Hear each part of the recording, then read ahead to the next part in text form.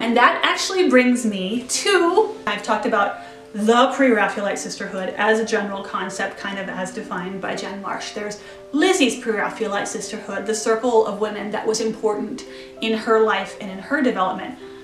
My Pre-Raphaelite Sisterhood. My Pre-Raphaelite Sisterhood is a group of wonderful, wonderful people that I have met online over the last probably roughly eight or nine years. One of them I've already mentioned, Kirsty Walker. Um, she's the author of Stunner. She also has a blog called The Kiss Mouth, which is at fannycornforth.blogspot.com. Please read the description, go to the links, check out the wonderful things that these people post. It's not just about Fanny, it's about, and not even just about the Pre-Raphaelites, it's this whole, it's just meandering, wonderful, very often very sassy trip through art history that is just always a delight to read. The next person I have to mention, of, Steph of course, is Stephanie Pina, who runs LizzieSiddal.com and also Pre-Raphaelite And you see, this is the shirt for the Pre-Raphaelite Sisterhood, Lizzie at her easel. It's by Gabriel Rossetti.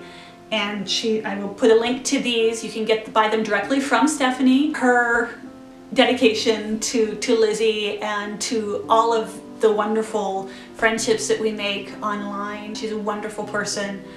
Um, and again writes just the most amazing things on both blogs. Uh, Pre-Raphaelite Sisterhood also has a Facebook page and there's a great thriving community there, so check that out. Grace Nuth, actually she's the one person I will be able to link you to her YouTube channel. Her absolutely amazing uh, she did in her dining room a mural of the 12 dancing princesses, which is also one of my favorite fairy tales. And uh, it's just, she gives you a little tour of that. It took her, I think, two years to complete. It's beautiful. And Grace has a couple of different blogs. One is called Domythic, I think it's Domythic Bliss, and it's all about um, mythic and sort of fairy tale influenced decorating. Then there is The Beautiful Necessity, which is how I first ran into her, um, that she talks about Pre-Raphaelite influences. Raine Szramski, she's an illustrator and she does these absolutely delightful, she calls them sketchbook cartoons, sporadically ongoing comic strip about the Pre-Raphaelite circle called Pre-Raphernalia that is just hilarious. It's so funny and it's just, and it's, you know, if you know anything about the personalities involved, it's, you know, it's, it's kind of the spiritual uh, descendant of the little cartoons that they always used to draw of each other, which is what makes it so much fun. Verity Holloway has a very nice blog. She does some really cool posts on there and she's another person who's just really fun to have to have around and to talk to and you know to share this interest with. Uh, Dinah Roe, she's incredibly knowledgeable about all the poetry and the art and she her blog is called I think Pre-Raphaelites in the City. She's the author of The Rossettis in Wonderland, which I'm about a third of the way through now and enjoying immensely. And again, just fun to hang out with on Twitter. She's always finding the most wonderful news items about um, lost artworks being discovered or things going for auction or what have you. Uh, Lucinda Hawksley, of course, is the author of Lizzie Siddal, um, which is variously subtitled Tragedy of, of a Pre-Raphaelite Supermodel or Face of the Pre-Raphaelites, depending on the edition and which side of the Atlantic you're on, but they're both the same book. They're both by Lucinda Hawksley, who oh, who scared me to death, to be honest, the first time I came in contact with her because I was actually, this is three, four years ago, four years ago, talking about working on a one-woman show about Lizzie Siddal. And I guess she looks for, you know, Lizzie Siddal at, as, as a search term to see what people are saying because of course she wrote the biography. And so she tweeted to me that sounds interesting, tell me more. I'm like, holy crap.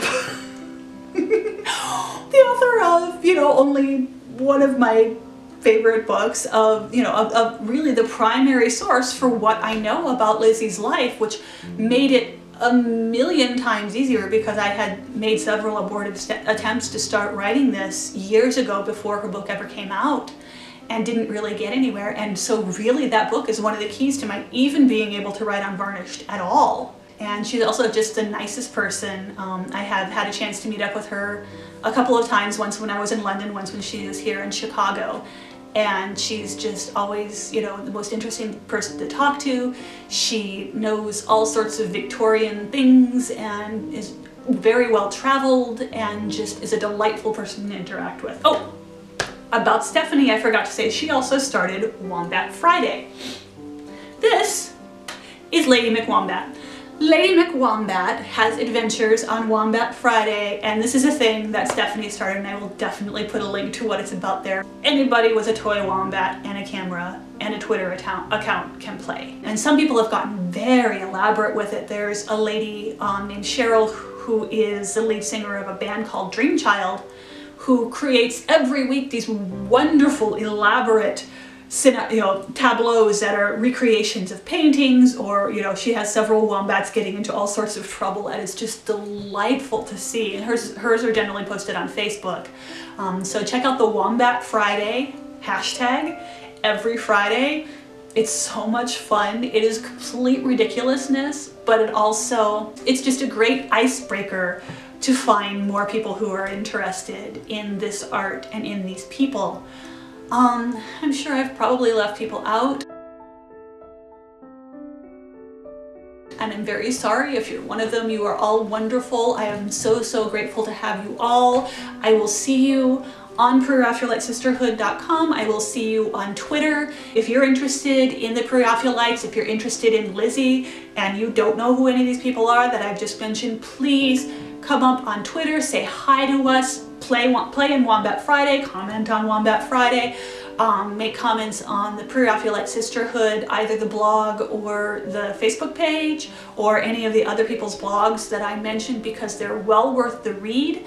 Everyone is very friendly. Oh, of course, the Pre-Raphaelite Society.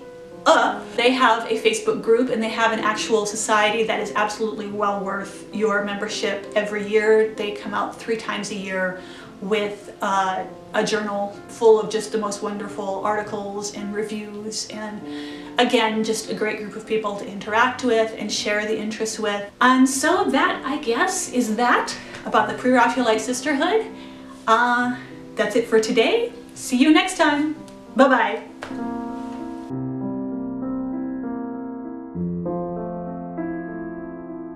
I owe her a tremendous of, gratitude.